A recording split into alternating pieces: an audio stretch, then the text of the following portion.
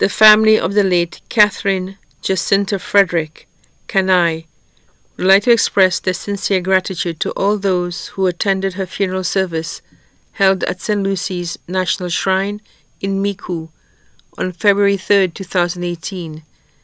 While Catherine has departed from us, we will continue to cherish and celebrate her life. We find comfort in her memory and the exemplary impact she had on so many lives as a teacher, mother, grandmother, wife, sister, aunt, cousin, and friend.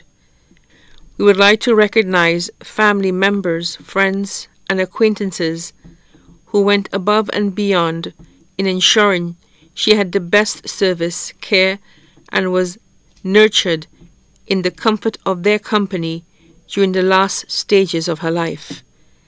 We find solace in your support, your words of encouragement, and empathy. A special thank you to the Archdiocese of Micoud, DBS, Rambally's Funeral Home, teachers, principals, and well wishers. May she continue to rest in peace as conqueror of life and death while we sing, I Hope You Dance.